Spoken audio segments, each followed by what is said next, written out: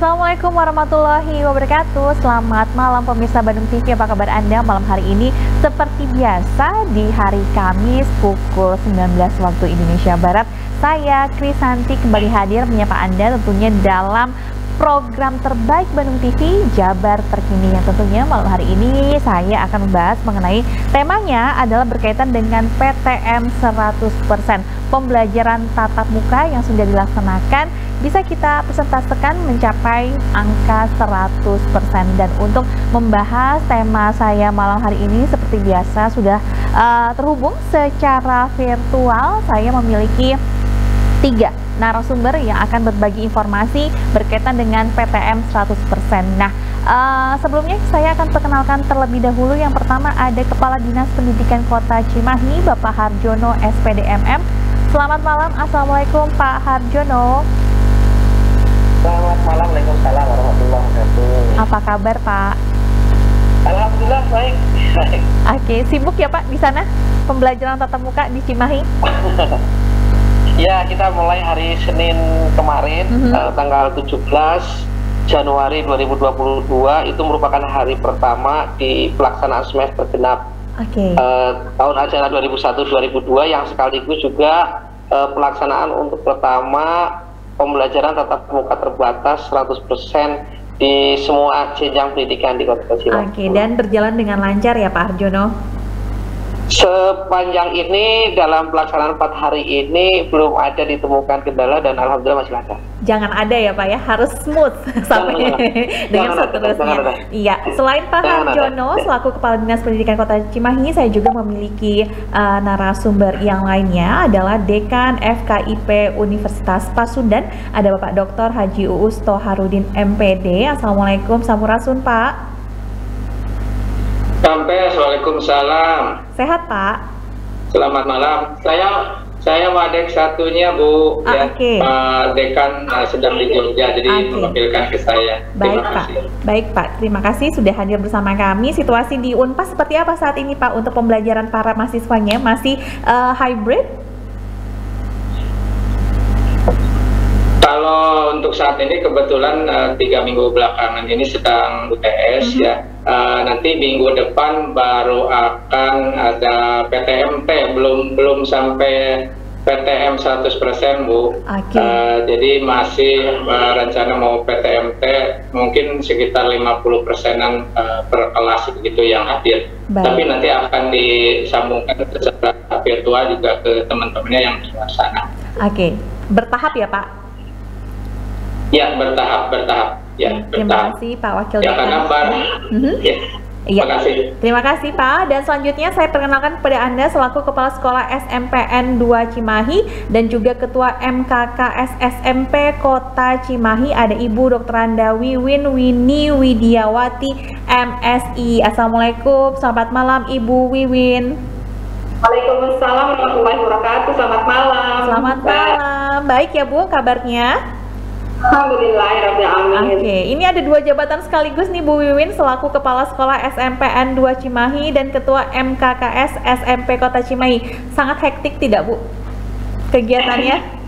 Uh, MKKS itu komunitas uh -huh. para kepala sekolah. Uh -huh. Kebetulan di sini ada 45 kepala sekolah. Wow. Dan uh -huh swasta 45 uh, negeri 16 swasta 29 nah itu uh, ada komunitasnya itu sebagai apa ya ke komunikasi kami dalam satu forum seperti itu terkait berbagai hal uh, kegiatan di sekolah seperti itu. Baik, kita akan membahas mengenai PTM 100% yang minggu ini adalah minggu pertama dan memasuki hari keempat. Uh, so far so good bisa dikatakan demikian. Ini terlihat sekali dari aktivitas penjemputan, pengantaran para uh, siswa di tempat-tempat sekolah yang ada di sekitar kita termasuk Kota Cimahi. Sebelumnya saya akan coba berbincang kepada Pak Dr. Dr. Haji Uus Toharudin terlebih dahulu berkaitan dengan gambaran ataupun situasi pendidikan di Jawa Barat khususnya di masa pandemi ini Pak. Silakan.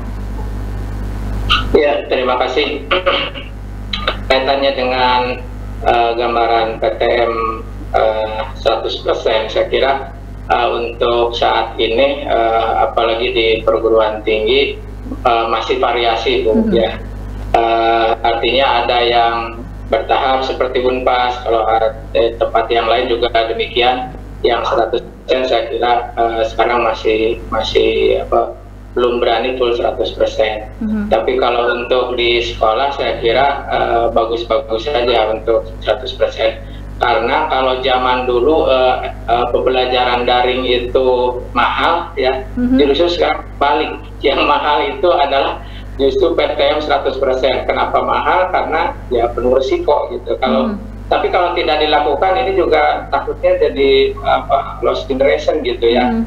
kalau tidak dilakukan karena kalau uh, pembelajaran daring itu di satu sisi memang uh, memudahkan dari mana saja tapi di sisi lain itu untuk pembelajaran karakter kalau uh, saya pahami itu sulit gitu ya yeah. sulit untuk apa namanya mengontrol hmm. kemudian apa ini benar uh, bikinan dia atau enggak gitu ya untuk hmm. pembelajaran daring itu sulit ya. Hmm. Tapi kalau sekarang uh, mau terbatas, mau pembelajaran uh, tatap muka 100%, ya saya kira asal di uh, kawal protokol kesehatannya, saya kira uh, dia bisa-bisa saja dan uh, saya uh, sepakat ya untuk itu dan para mahasiswa sebetulnya gandrung untuk ini untuk pembelajaran tatap muka yang 100% itu gandrung. Mm -hmm. Jadi mereka itu sudah menemui titik jenuh gitu untuk online-nya. Mm -hmm. Sehingga mereka uh, apa namanya kalau dari curhat-curhat atau testimoni itu ingin sekali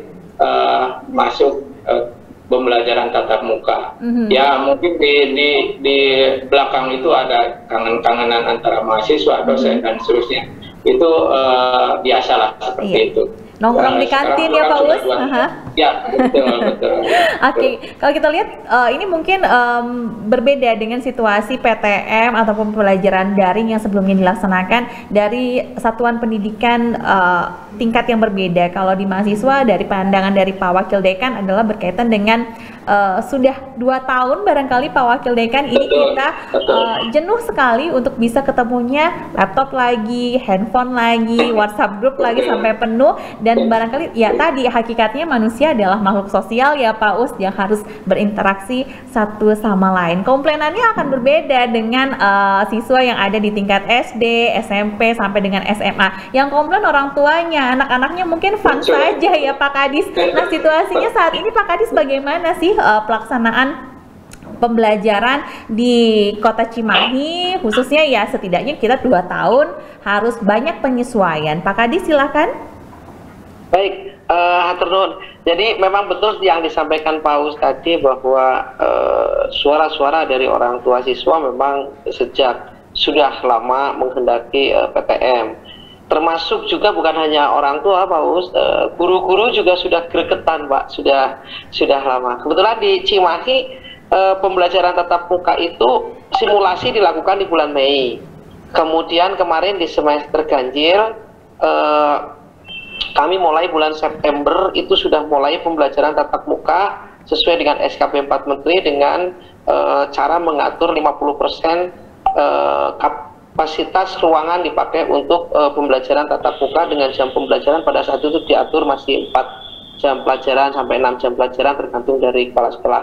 Nah, hari ini sejak terbit SKP 4 Menteri yang baru, maka untuk PAUD, SD, hmm. SMP itu sudah mulai pembelajaran 100% uh, tatap muka, 100% yang dimaksud adalah 100% uh, kapasitas ruangan dapat digunakan 100% anak-anak mengikuti pembelajaran tatap muka.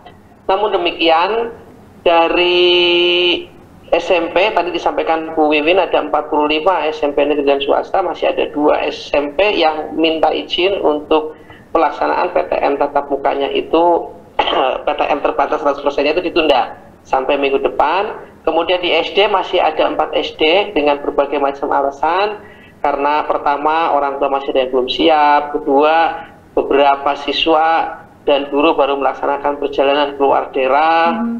e, kemudian di TK juga masih ada beberapa TK dari total 307 e, eh, PAUD, SPS e, dan TK Kober termasuk itu masih ada beberapa yang mengajukan e, e, apa penundaan, terutama ini untuk SD dari swasta dan mm -hmm. SMP dari swasta. Mm -hmm. Oke, jadi memang ada penyesuaian dan di uh, tergantung dari kondisi di lapangan ya, Bu, Pak Pak Pak Kadis karena memang tidak bisa dipaksakan. Betul. Kalau menurut SKP 4 Menteri yang terbaru, sebetulnya untuk wilayah seperti Cimahi hmm. yang masuk level 2 dengan cakupan vaksinasi lansianya di atas 50 persen, mm-hmm. kemudian cakupan vaksinasi secara umum di atas 70 persen, Cimahi kita sudah 80 persen, mm-hmm. itu dapat semua harus memberikan uh, apa pembelajaran tatap muka, nggak bisa ditawar, mm-hmm. harus me, semua satuan pendidikan harus memberikan uh, fasilitasi pembelajaran uh, tatap muka. Namun demikian, masih kita menyadari bahwa masih ada satu dua orang tua yang uh, apa uh, khawatir belum, ya Pak? Mm-hmm. Belum ya, belum belum sepenuhnya percaya tentang keamanan penyelenggaraan PTM meskipun kami dari dinas pendidikan, dinas kesehatan, terutama sekolah mm-hmm. itu berusaha keras untuk meyakinkan bahwa semua tahapan sudah dilaksanakan, semua SOP disiapkan dan dilaksanakan, semua infrastruktur disiapkan, tapi masih ada satu dua. Insya Allah uh, minggu depan beberapa sekolah yang sekarang masih menunda sudah menyatakan akan uh, siap. Sehingga apa yang tadi dikatakan oleh Pak Wakil Dekan tentang learning loss itu bisa kita cegah sedini mungkin. Itu mungkin. Iya, baik. Terima kasih Pak Kadis atas penjelasannya kondisi di lapangan, update-nya seperti apa khususnya untuk di kota Cimahi pemirsa. Nah nanti kita akan berbincang lagi uh, tentunya dengan tema yang sama berkaitan dengan pelaksanaan uh, PTM 100% yang ada di Jawa Barat pada umumnya dan kami akan berbincang dengan Kepala Sekolah SMPN 2 Cimahi setelah jeda berikut pemirsa tetap bersama kami dalam program Jabar Terkini.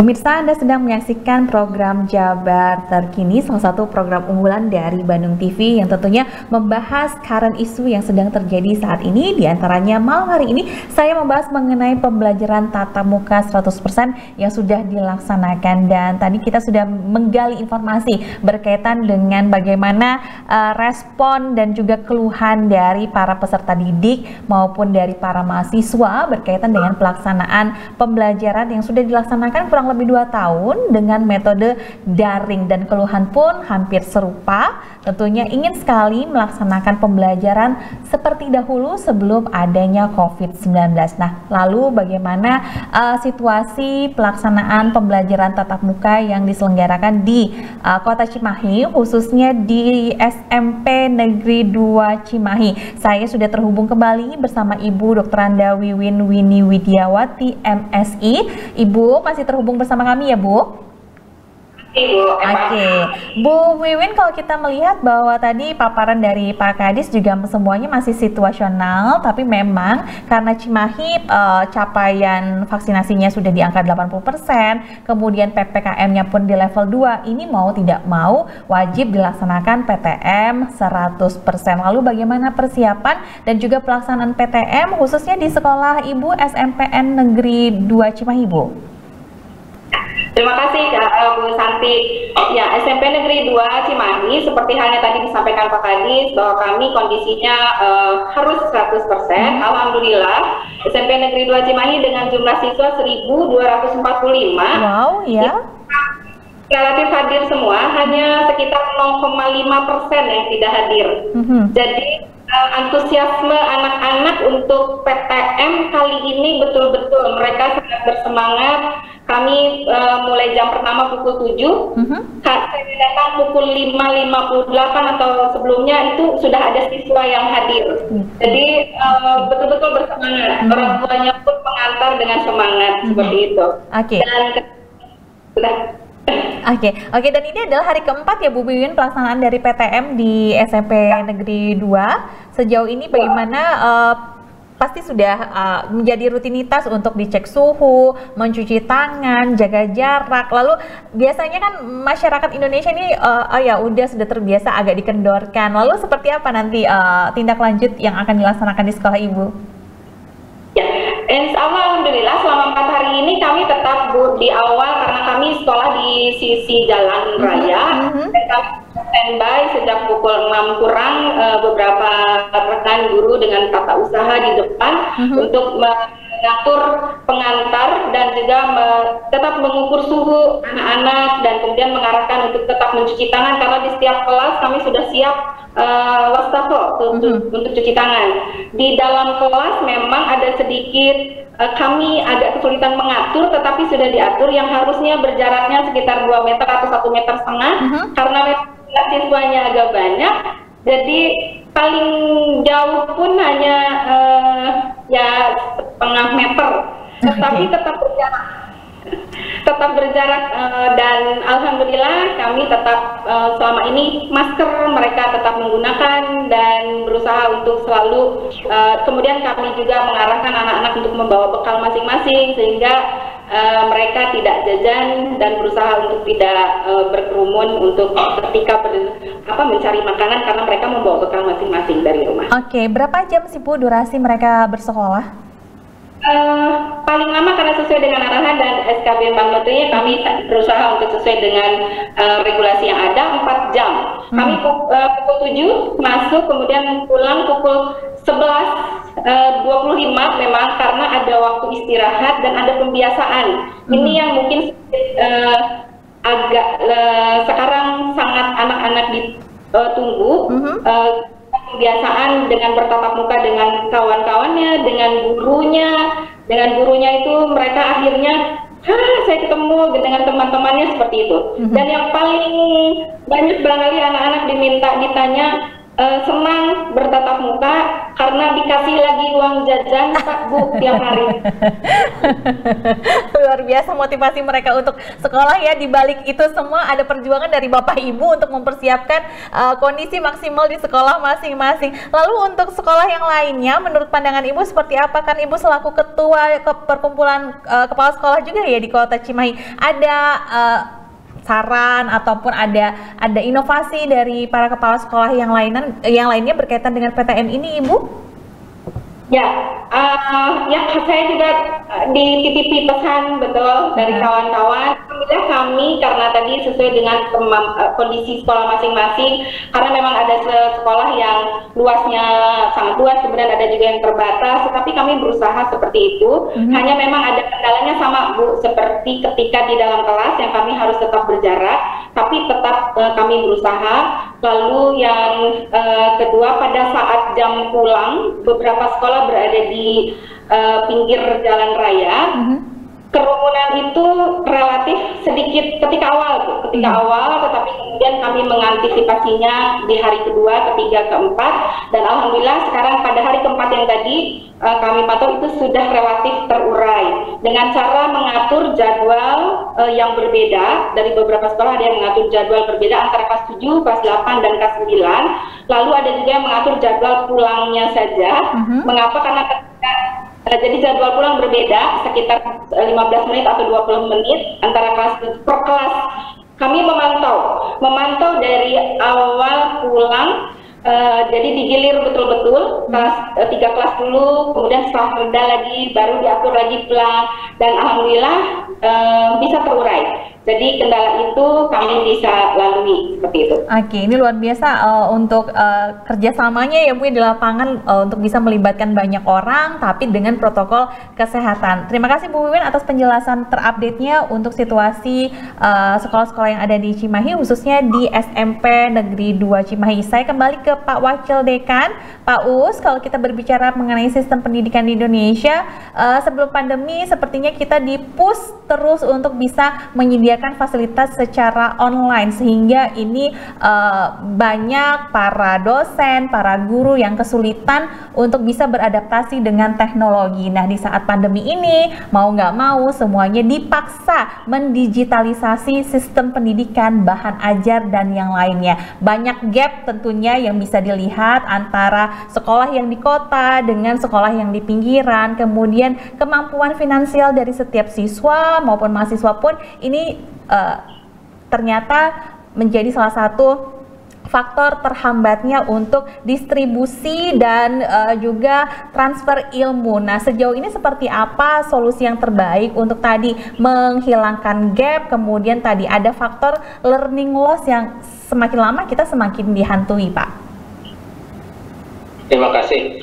uh, saya mungkin bicara dari sisi pendidiknya dulu ya. Silakan Pak. Uh, saya melihat bahwa uh, ada perbedaan antara pendidik baik itu guru ataupun dosen uh, antara generasi yang 50 ke atas gitu Bu ya. Mm-hmm. Generasi kolonial ya Pak. Bawah, gitu ya. ya.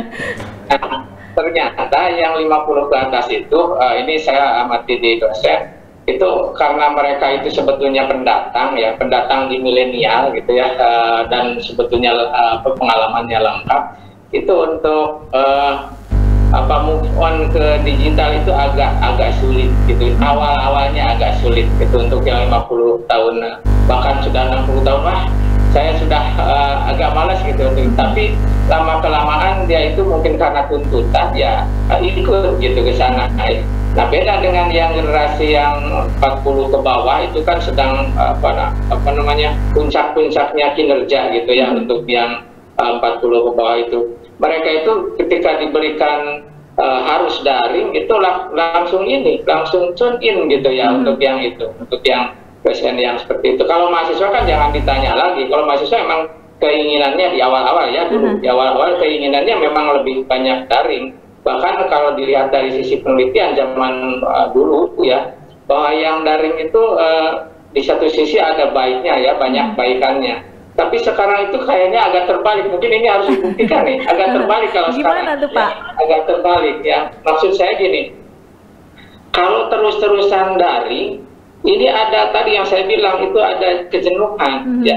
Sehingga kalau sudah jenuh apa pun dijejali itu akan sulit gitu. Yeah. Tapi kalau sudah ada suasana PTM terbatas, itu ada apa saling uh, sapa secara uh, nyata gitu, itu uh, apa namanya energi positifnya bisa bisa keluar gitu mm. ya.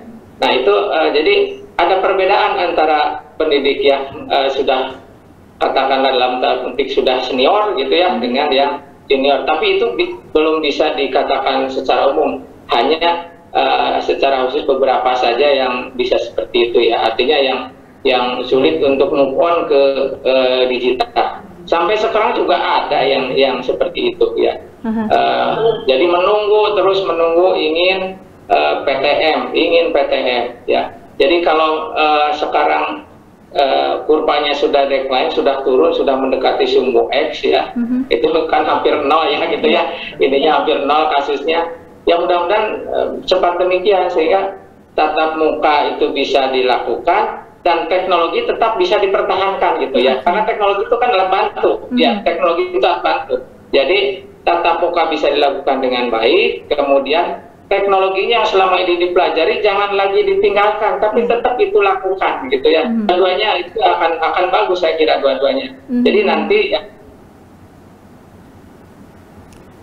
Pak Wakil Dekan Sepertinya gangguan sinyal Pak Wakil Dekan Pak Dr. Haji Uus uh, Toharudin MPD kami akan menunggu tersambung kembali dan untuk Anda juga kalau kita lihat bahwa ternyata uh, di satu sisi digitalisasi luar biasa membantu di sisi lain juga ternyata pertemuan uh, secara face to face pun sangat dibutuhkan untuk sistem pembelajaran yang ada di Indonesia. Lain halnya memang konsepnya dari awal sudah daring ya Pak uh, Wakil Dekan itu akan berbeda rasanya. Uh, ada yang mau ditambahkan lagi Pak mengenai learning loss yang menjadi salah satu ancaman di Indonesia?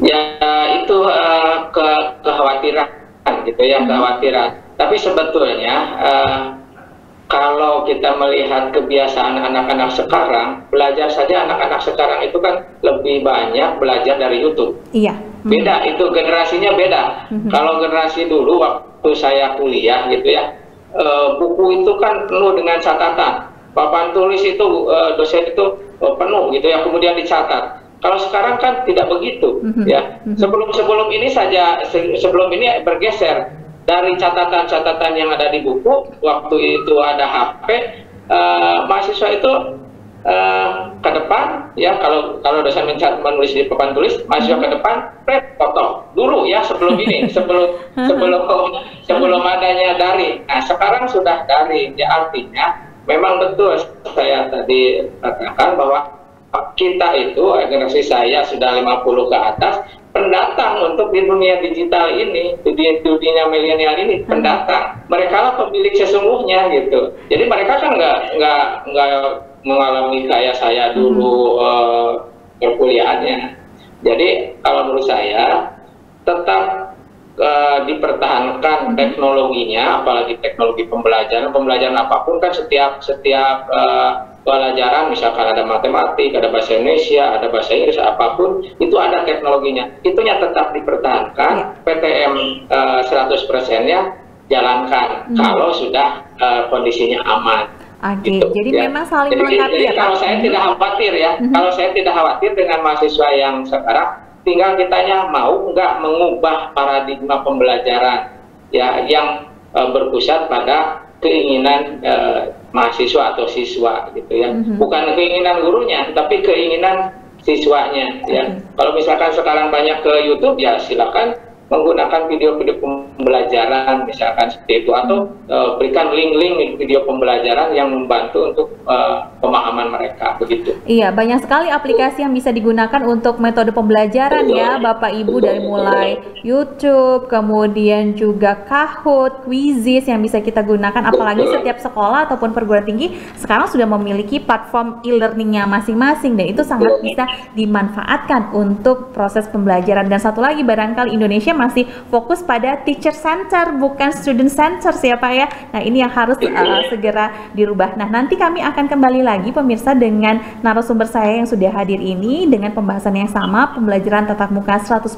Setelah jeda kami kembali untuk Anda dalam program Jabar Terkini.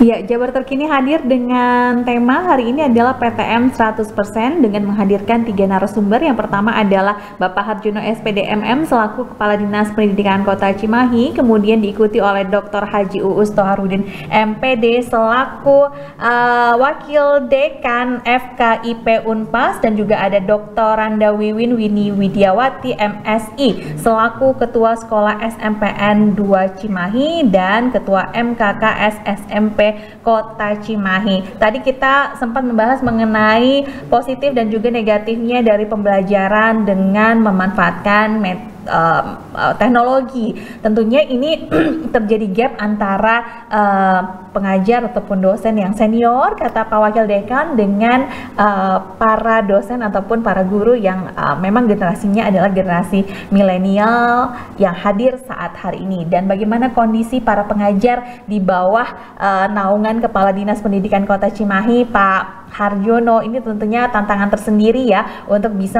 memberikan literasi digital bagi para guru yang ada di kota Cimahi sejauh ini seperti apa uh, literasi digital dan juga penerapan teknologi di kota Cimahi sendiri Pak?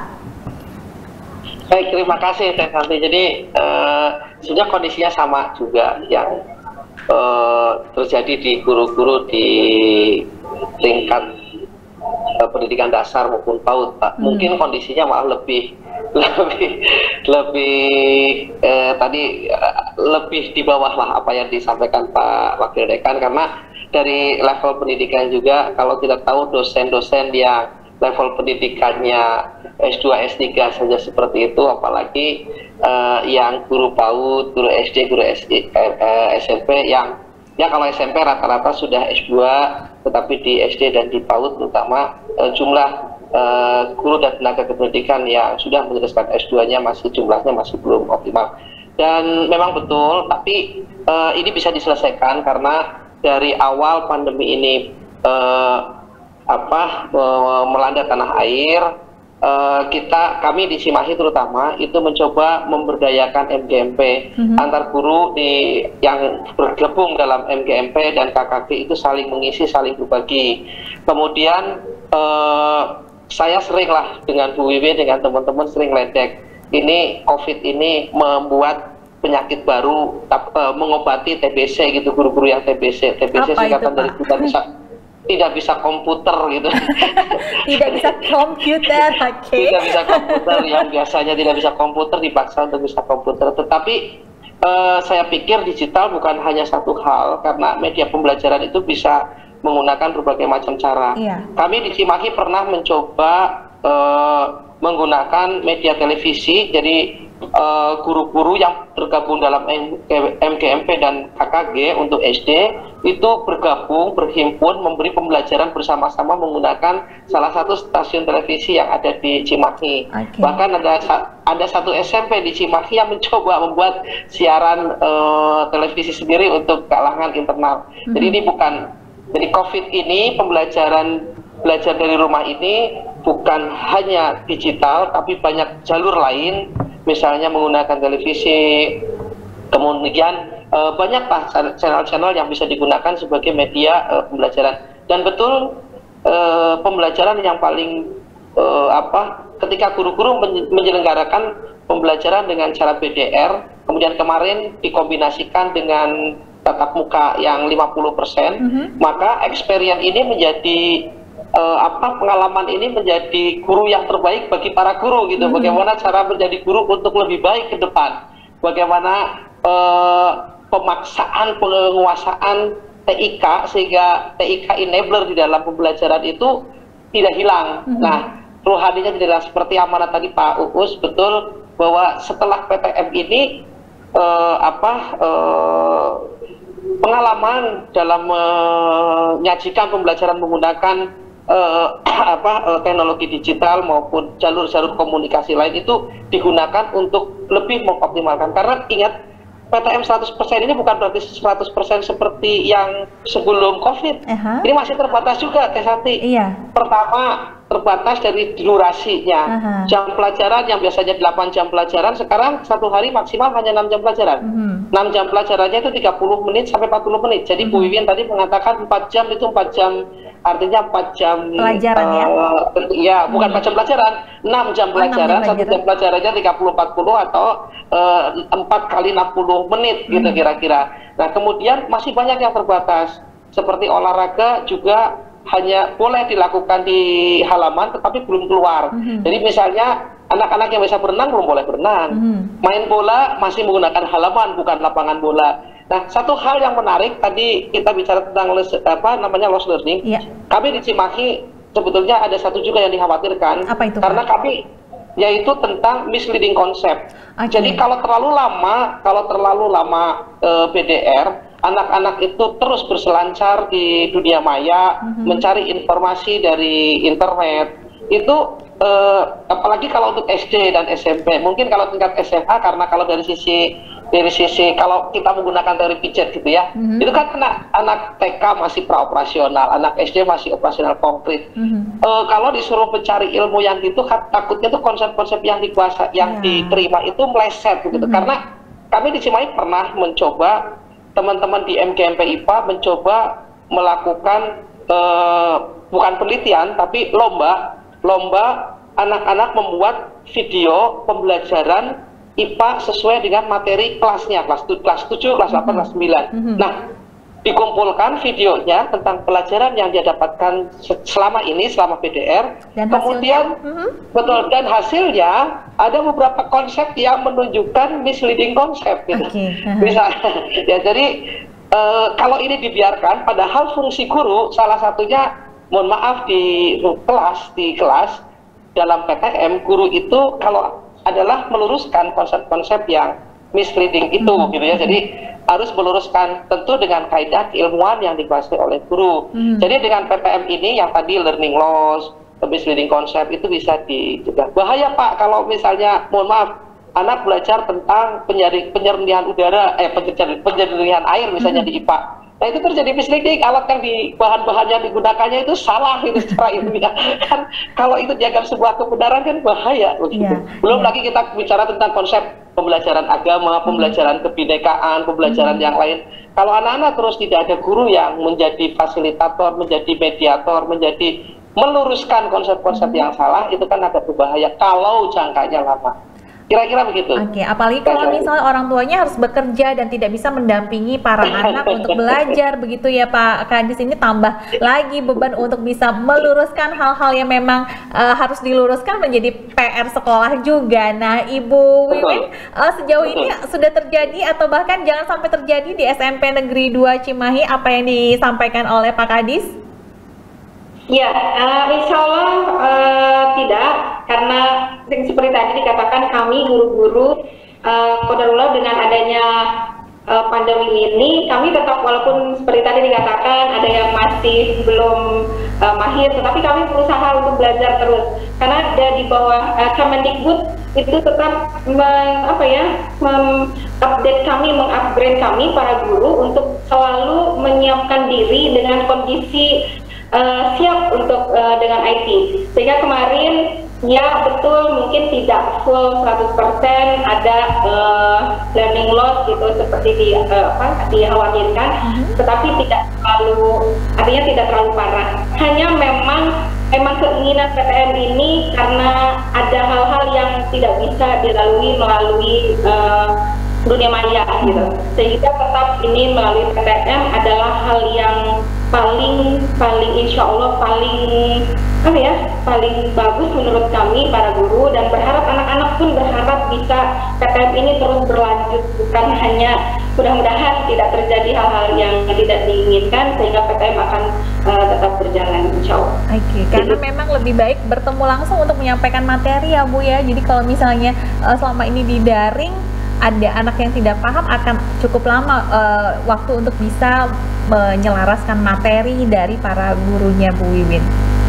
Betul, betul. Okay. Ya, tapi hanya juga kadang uh, yang tadi Pak Data katakan mungkin, uh, tapi memang betul ada anak yang bisa betul bagus, sangat bagus, tapi apakah betul hasil karya sendiri atau bukan? Nah ini yang uh, kami ingin uh, mungkin di pada saat PKM ini akan lihat dan itu tanggung jawab kami untuk mendidik anak-anak hmm. untuk mereka betul-betul siap menjadi anak bangsa mencapai anak uh, masa Indonesia emas. Oke, okay, kalau di uh, sekolah misleading konsep yang memang dikhawatirkan seperti yang disampaikan oleh Pak Kadis. Kalau di jenjang universitas barangkali Pak Wakil Dekan ini mahasiswanya kadang-kadang di Zoom fotonya aja, habis itu off kamera. Alasannya ya susah sinyal atau enggak belum mandi kameranya udah on sementara dosennya udah uh, on set, udah performance-nya luar biasa 100%, mahasiswanya yang um, oke okay, karena masih di kosan ya udah nyalain aja kameranya biasa aja orangnya tidur lagi Pak Wakil Dekan menanggapi hal tersebut bagaimana? Ya. Terima kasih uh, menarik tadi apa yang disampaikan oleh Pak Kadis ada uh, miskonsepsi istilahnya ya hmm. jadi miskonsepsi itu konsep yang mis yang salah hmm. akibat dari uh, dia mencari sendiri ya carinya itu tidak diberikan petunjuk ya bisa jadi seperti itu tapi kalau di universitas justru memang uh, lebih banyak mahasiswa itu mencari karena beda beda ini ya beda beda karakteristik gitu ya. Mm-hmm. Kalau di SD kan lebih banyak mungkin disuapi begitu ya terus ke atas kalau ke atas lebih banyak mencari. Tapi kalau kami supaya tidak terjadi miskonsepsi yang parah gitu ya, uh, biasanya uh, mahasiswa itu diberi tugas ya tugas tersendiri masing-masing berbeda ya ataupun bisa sama kemudian nanti dipresentasikan dosennya sebagai wasit ya hmm. atau dalam istilah lainnya itu fasilitator hmm. gitu ya. Nah ini yang salah, ini yang benar sehingga ada konfirmasi di situ ya. Oh ya ini uh, saya mengambil dari sini. Terus ditanya argumentasinya seperti apa. Nah kalau sudah ketemu bahwa iya, oh iya kalau gitu salah saya gitu ya. Hmm. Nah itulah uh, kalau di universitas seperti itu. Nah terkait dengan tadi di Zoom ya, memang kalau dibuat apa uh, istilah PTM ya sama saja Bu PTM itu hmm. pembelajaran tatap maya gitu. Nah kan tetap nah, ya. jadi tetap tetap ininya singkatannya sama ya pembelajaran tatap muka, pembelajaran tatap maya. Nah, kalau kami selama ini dua tahun ini memang sudah PTM 100%, tapi PTM-nya pembelajaran tatap maya, ya pembelajaran tatap maya. Nah, Uh, untuk pembelajaran tatap maya ini memang modus baru betul Bu tadi ya. Kalau dulu itu kabur dari sekolah itu kan loncat pagar Bu uh -huh. ya Pak ya. loncat pagar. Kalau sekarang kabur itu tutup kamera gitu. Ketika dipanggil uh, ini uh, misalkan si A, si B yang tutup kamera kemudian dipanggil tidak nyaut-nyaut, nah itu berarti kan kabur. Mhm. Nah untuk mengatasi mengatasi seperti itu di awal biasanya dosen mengatakan begini bahwa nanti akan penilaian itu begini begini begini. Salah satunya adalah anda harus tetap on cam. Nah gitu ya. Nah kalau tidak on cam saya anggap tidak hadir. Nah, gimana kalau tidak ada sinyal? Anda cari sinyal di mana yang besar sinyalnya begitu ya. Nah, itu kalau perjanjiannya di awal seperti itu, anak-anak itu atau para mahasiswa itu paham gitu ya. Mm-hmm. Jadi artinya memang betul penilaian itu harus disampaikan di awal gitu. Anda itu nanti akan nilai A, B, C, D. Ya salah satunya misalkan on cam atau off camnya gitu ya. Nah, itu itu salah satu mengatasinya yaitu di awal diberikan perjanjian perkuliahan gitu ya. Anda harus on cam. Hmm. Gimana kalau sinyalnya jelek? Ah, cari saja sinyalnya yang bagus gitu supaya tetap on cam gitu. Hmm. Gimana saya nggak punya kuota? Ah pokoknya cari asal bisa on cam begitu kan. Sebetulnya kalau uh, dibuat tegas seperti itu bisa itu hmm. bisa. Oke, okay. banyak strategi ya Pak bisa dilaksanakan untuk bisa tadi uh, mengakali cara-cara uh, mahasiswa kita kita jauh lebih pintar karena kita uh, bandelnya duluan ya Pak. Oke, okay. kita masih punya satu segmen lagi Bapak Ibu berkaitan dengan pelaksanaan pembelajaran tatap muka 100% ini. Jadi Anda jangan ke mana-mana, tetap bersama kami dalam program Jabat Terkini.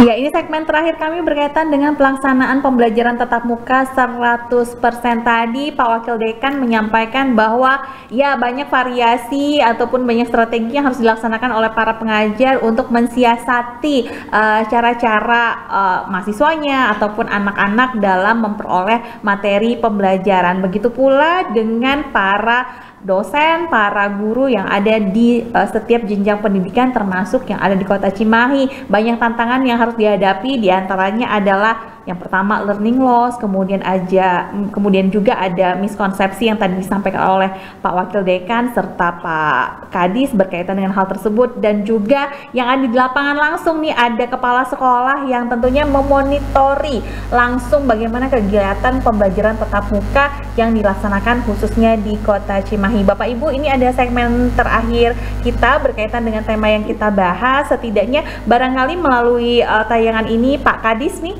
yang uh, sudah hadir secara virtual, apa saja yang harus diperbaiki, dievaluasi dan dipertahankan dalam uh, empat hari pembelajaran tatap muka yang sudah diselenggarakan khususnya di Kota Cimahi, Pak Kadis silahkan. Baik, uh, terima kasih Teh Santi. Jadi kami sudah menugaskan beberapa uh, semua pengawas sekolah untuk turun memonitor dan juga beberapa staf kami dari laporan para pengawas yang turun ke lapangan, staf, termasuk saya sendiri keliling, hmm. itu masih ada beberapa memang yang harus diperbaiki. Hmm. Uh, di antaranya adalah uh, sekolah uh, sampai sekarang masih ada beberapa sekolah yang belum memasang QR code yang dari uh, Kementerian Kesehatan yang terkait dengan uh, peduli apa aplikasi peduli lindungi. Hmm. Ya kalau kalau di Bu Wiwin sebetulnya kalau di Bu Wiwin sudah ada, tetapi kalau di sekolah lain uh, masih belum. Mohon ini dipasang dan juga uh, pelak protokol kesehatan, penerapan protokol kesehatan uh, itu uh, terutama guru harus memberi contoh uh, di dalam uh, apa memberi contoh di dalam pelaksanaan protokol kesehatan misalnya yang paling sederhana adalah guru selama di kelas tidak boleh melepas masker. Mm -hmm. Kalau memang ada anaknya, ada siswanya yang mengalami gangguan pendengaran maka menggunakan diizinkan memang menggunakan uh, masker yang transparan atau face shield mm-hmm. karena supaya anak-anak yang mengalami gangguan pendengaran bisa membaca uh, apa uh, gerak bibir guru. Kemudian kepala sekolah juga dengan satgas COVID harus memastikan uh, sekali lagi protokol kesehatan dan memastikan hanya anak-anak yang dalam kondisi sehat, kondisi kesehatannya prima yang diizinkan untuk melaksanakan PTM uh, terbatas 100%. Yang sakit biar di rumah saja sampai sehat, tetapi juga guru-guru harus tetap memperhatikan proses pembelajaran bagi anak-anak kita yang sakit dan uh, tinggal di rumah. Mm-hmm. Itu mungkin beberapa hal yang uh, dari catatan uh, selama empat uh, hari ini. Tadi tentang kemacetan, tentang pengaturan jadwal sudah disampaikan Bu Win, semua sekolah sudah saling berkoordinasi uh, baik dengan sekolah terdekat karena di Cimahi ini sekolahnya dekat-dekat. Iya. Sekolahnya di sekolahnya Bu Wiwin itu ada dekat dengan SD, ada SMP swasta yang lain. Uh-huh. Hampir semua sekolah di Cimahi itu rata-rata dekat-dekat. Jadi kalau antar antar sekolah tidak mengatur jadwal kedatangan dan kepulangan anak-anak yang terjadi adalah kerumunan. Uh-huh. Ya, dan itu sudah diselesaikan karena kita sudah lama berlatih sejak bulan uh, September sehingga komunikasi antar sekolah antar kepala sekolah baik di MKKS maupun antara MKKS dengan K3S sudah berjalan dengan baik. Demikian Teh Santi. Terima kasih Pak Harjono atas evaluasi dan hal-hal yang harus dipertahankan di setiap sekolah yang ada di uh, daerah Pak Harjono di Kota Cimahi. Ibu Wiwin, bagaimana pandangan Ibu sejauh ini apa yang harus ditingkatkan dan juga diperbaiki? Khususnya ini mengatur anak-anak remaja tentunya akan berbeda treatmentnya dengan para mahasiswa uh, yang tadi disampaikan oleh Pak Wakil Dekan. Bu Wiwin. -huh kasih Pak Santi. Alhamdulillah uh, untuk anak-anak SMP relatif malah masih bisa mudah diatur Bu. Hmm. Hanya uh, masalahnya uh, ketika pembelajaran ini salah satunya mungkin karena lokasi satu kelas itu uh, relatif itu ukuran baku hmm. uh, sekitar 9, tetapi dengan jumlah sekarang siswa dan kursi yang relatif antara 34 sampai 36, ini membuat eh, kami harus berjaga jarak. Nah biasanya kami para guru itu agar anak lebih, mungkin karena baru 4 hari ya, mungkin nanti kami akan uh, mencari lagi formula Uh, contoh misalnya ketika kami uh, menggunakan pembelajaran yang harusnya model jigsaw gitu, hmm. nah itu kan berkelompok, lalu kami menggeser kursi, meja dan kemudian duduk berkelompok. Nah ini kami agak kerepotan dengan kemudian durasi memang yang masih terbatas itu gitu. Uh, tetapi uh, sampai saat ini anak-anak sangat menikmati karena memang relatif masih uh, tatap muka artinya satu kelas guru di depan dan masih belum uh, artinya masih di, belum uh, dibuat di berkelompok. Tapi sampai saat ini masih mereka masih menikmati karena ada perubahan dari ketika daring itu sama sekali ketika ada pertanyaan tidak bisa langsung bertanya pada gurunya. Hmm. nah sekarang mau curhat apa pun mengenai pembelajaran kesulitan pembelajaran itu bisa bertemu langsung. Nah ini membuat mereka sangat sangat sangat sangat senang sekali ketika bertemu gurunya, ketemu wali kelasnya, sehingga mereka menikmati dalam uh, pas hari ini. Mm-hmm. Lalu yang uh, berikutnya adalah uh, mungkin yang masih harus diperbaiki ketika anak-anak masih ada yang belum, uh, sementara kan kami menghimbau untuk mereka membawa bekal masing-masing. Nah ini mungkin mohon kerjasamanya juga dari para orang tua. Ada beberapa anak yang masih belum dibekali sehingga uh, mereka lapar. Jadi ketika pulang, uh, yang ini yang sedikit menghambat ada penjual karena kalau di pinggir jalan penjual uh, apa namanya kaki lima. Nah mereka nunggu di situ sambil um, sebelum ketemu orang tuanya jajan. Jadi hmm. akhirnya berkerumun. Nah ini mungkin yang kami terus menerus secara terus menerus kepada wali kelas untuk selalu mengingatkan agar membawa bekal sehingga pada saat uh, kurang lebih 4 jam dinding itu 6 jam pelajaran mereka betul-betul tercukupi uh, asupan uh, apa makanan sehat bergizinya dan mereka tidak lapar dan akhirnya cepat pulang. Seperti itu sih. Oke, jadi tidak ada kerumunan habis sekolah langsung pulang peluang itu yang diharapkan oleh pihak sekolah ya Bu Win ya. Baik, terima kasih. Selanjutnya saya beralih ke Pak Wakil Dekan FKIP Unpas. Silahkan Pak Darta SPD MPD. Ya, terima kasih. Uh, pertama saya sepakat dengan yang disampaikan oleh Pak Kadis dan Ibu Wibin. Uh, lalu uh, saya ingin sampaikan orang kita itu kan biasanya cepat euforia, cepat lalai. Nah oleh karena itu apa yang mesti diperbaiki konsisten terus gitu melakukan protokol kesehatan dan seterusnya sesuai dengan juklak dan juknis PTM uh, 100% ini gitu ya. Konsistensi kata kuncinya. Kata yang kedua yaitu yang harus perbaiki adalah betul-betul kita melakukan pembelajaran yang berpusat pada mahasiswa atau siswa ya mm-hmm. student center learning. Itu betul-betul dilakukan. Karena kalau memang tidak dilakukan dengan baik bisa bisa jadi tadi miskonsepsi. Hmm. Kalau miskonsepsi artinya kita sebagai pendidik tidak ada konfirmasi bahwa inilah yang benar atau inilah yang salah. Nah gitu ya. Jadi uh, uh, itu yang kedua. Yang ketiga, bagaimanapun walaupun PTM sudah 100%, teknologi itu tidak akan ditinggalkan. Contoh kasus, Zoom saya yakin tidak akan ditinggalkan. Hmm. Sampai kapan pun tidak akan ditinggalkan, bahkan terus, terus gitu akan diperbaiki. Jadi eh, perbaiki teknologi informasinya, literasi digitalnya perbaiki, sehingga sesuai dengan teori yang disampaikan oleh Misra dan Kohler itu namanya TPEC Pak, mm-hmm. Teknologika Pedagogika and Content Knowledge. Mm-hmm. Uh, dipelihara teknologinya, dipelihara pedagogiknya, dipelihara, dipelihara konten pembelajarannya, misalkan ya, uh, sehingga semuanya itu jadi irisan yang semakin mendekat ya kontennya dikuasai dengan baik, kemudian pedagogiknya dilakukan dengan baik, dibantu oleh teknologi. Itu Misra dan Sekolah itu mengatakan 2000 tahun 2006, tapi sekarang kenyataan itu betapa visioner dia uh, melakukan atau membuat teori seperti itu. Jadi uh, pembelajaran yang dilakukan itu lakukanlah uh, tek TPED, Teknologika, Pedagogika, and Content Knowledge, knowledge yang benar, yang baik, ya semuanya irisannya semakin besar, semakin bagus. Itu mungkin dari saya. Terima kasih Pak Wakil Dekan atas uh, simpulannya berkaitan dengan pembelajaran tatap muka 100% yang sudah dilaksanakan di Jawa Barat. Khususnya tadi kita berfokus pada kondisi PTM 100% di Kota Cimahi.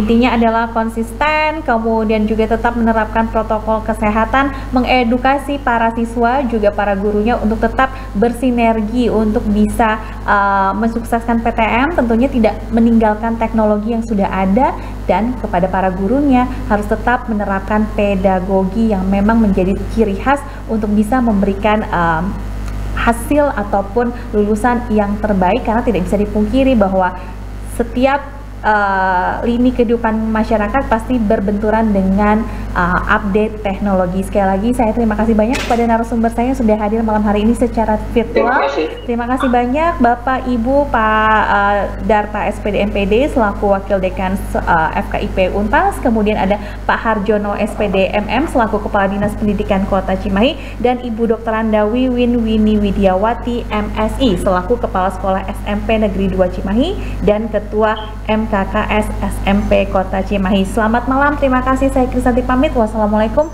warahmatullahi wabarakatuh. Hatur nuhun.